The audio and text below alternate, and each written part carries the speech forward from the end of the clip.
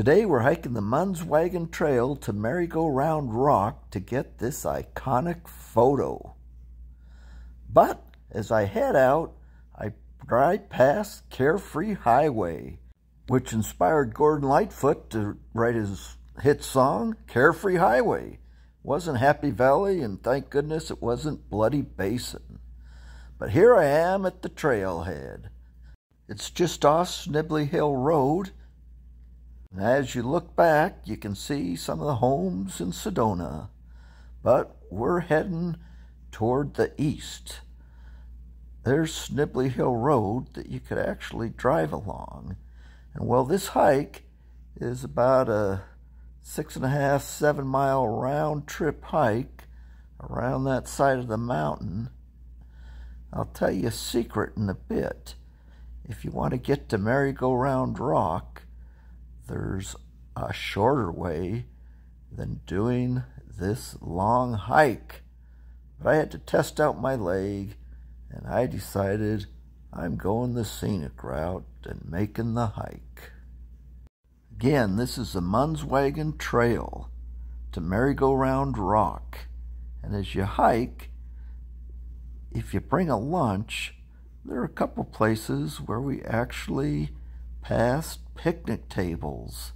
So you can stop and have a bite to eat. Sit down.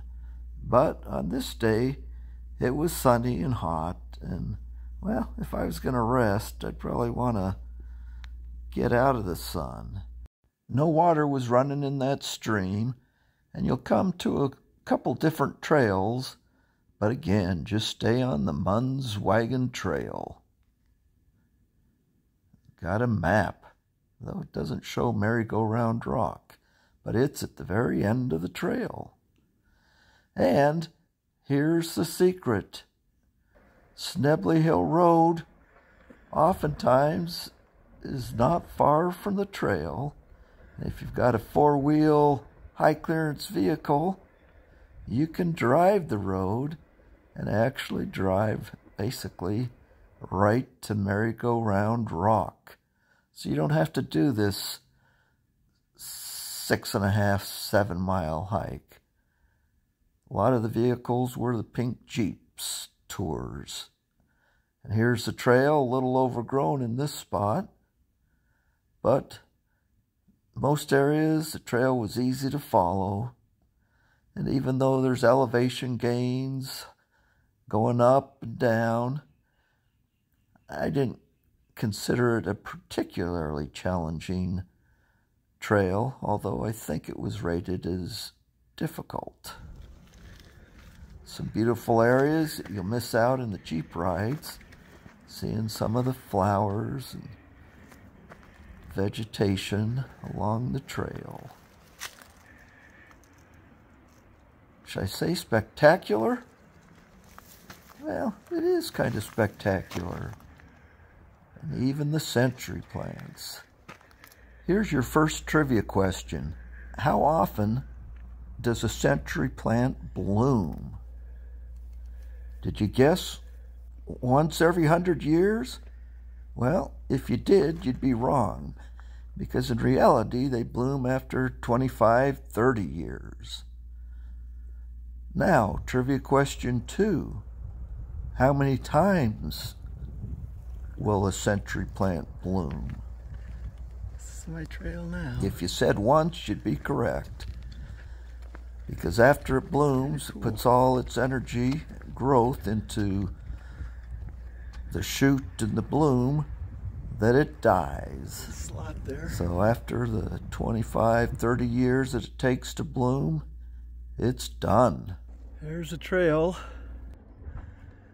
There's the red rocks of Sedona looking back where I came from was down in the valley there. Century plant is a type of agave and parts of it are edible, including the flower, the stalk, the leaves, and sap. You'll see that this trail actually crosses Schnebly Hill Road several times. And now I finally get my first view of Merry-Go-Round Rock. It's off there to the left side. There's a rock that I'll be where on. Where the famous picture is taken.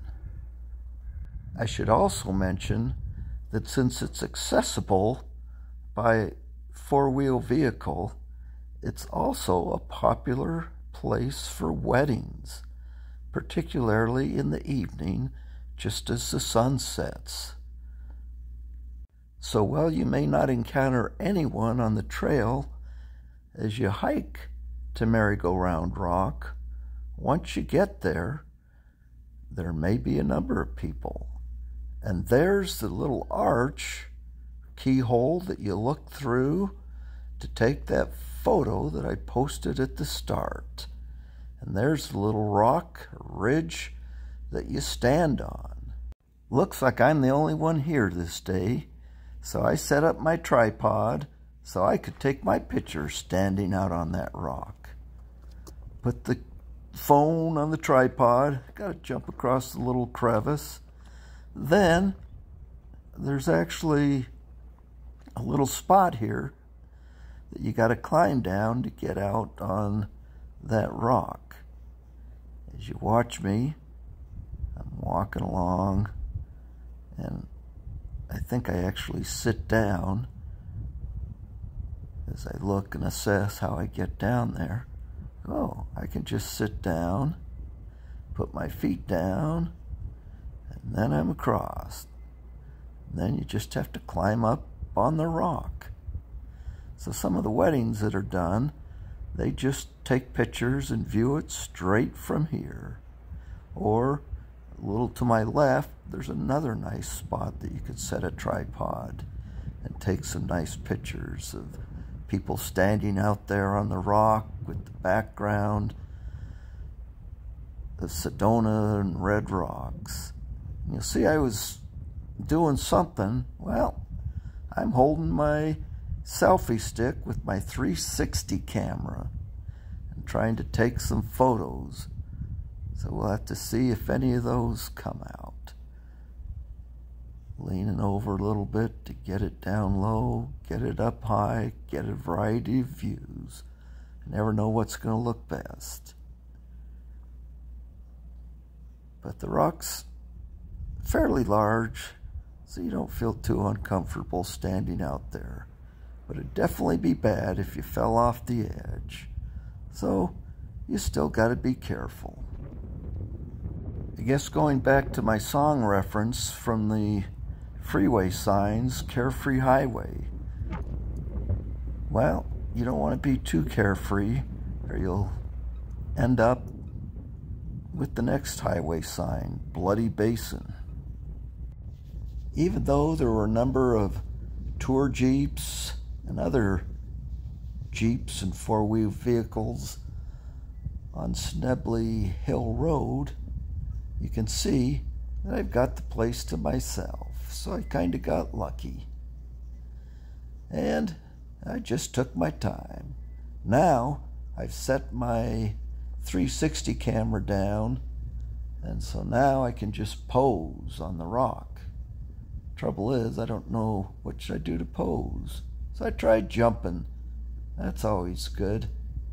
Once you jump up in the air, then I can take a free shot of that from the video and it looks kind of cool. And I take my hat off so you can see my bald head. But someone might do a nice yoga pose or something that looks a lot better than this. So when you get to that spot, well, be prepared for what you're going to do, what you think looks cool. And then when I'm done, well, I hike back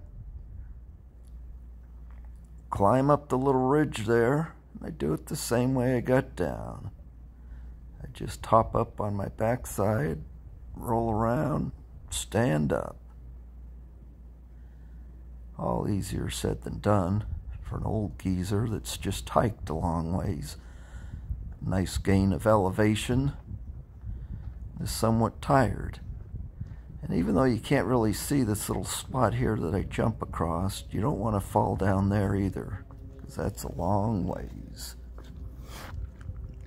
but I still haven't got that view through the cave. So how do you do that? Well, it's cool to take your picture just standing on that rock. The shot you really want is through this opening in the cave. And you can see you can do it various ways. Do you want a lot of light, a little light, or do you want just the darkness and just this is spot. then that opening on the cave? Well, I hadn't come all this way to not get my photo standing up on that arch. So I look down and I go, how the heck do I get down to that spot? You definitely need shoes with a good grip, and it's not so easy. But I climbed down there, set the tripod up, and put my phone on the camera, and then I climbed back out and over to the rock. And these are the videos that I got. It was kind of windy, and I actually lucked out because when I returned, I hadn't been back for too long when the wind blew my tripod over, but I was there to catch it. So it didn't fall over while I was doing any of this. And it probably took me at least, I don't know, the video's about 10, 12 minutes. So it took me five minutes or so to get over there and to get back down to that spot. But meanwhile, again, what do I do while I'm up on the rock? Once I'd done everything I could think of, then I have to return and climb back down to that little window so I can shut off my phone. I cut out most of it, but I finally have made it back. So I thought maybe I'll stand in that little opening so you can get an idea of how big that is. But I was thrilled. I'd found the location and got my photo. Here's a few of the stills that I took from the video. Me holding my head out, pointing off in the direction, and even jumping. You can see I actually got off the ground a speck. There was when I was leaving. And in the cave entrance, and then one that even if you don't hike down there, you can still get some spectacular photos. I thought I'd show you a perspective with the 360 camera of standing out on that rock, kind of what that's like. You can see out, there's the window where I'd set up my tripod there's me standing on the rock. Kind of a 360 view. Doesn't necessarily look like anything special when you first walk out there. When you see the photos that are taken, you go, yep, it's kind of a special spot. You can see the little ledge I hop down to get on that rock. And here's just a 360 of me holding the 360 camera of the entire area. I made a complete 360 of the whole area so you could see from every angle.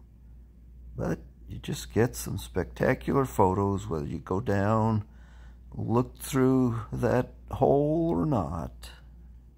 But just standing up on Merry-Go-Round Rock, looking down to the valley, spectacular. You see a couple of the pink Jeep tours going on, and they'll be up at the rock shortly. There's that little keyhole.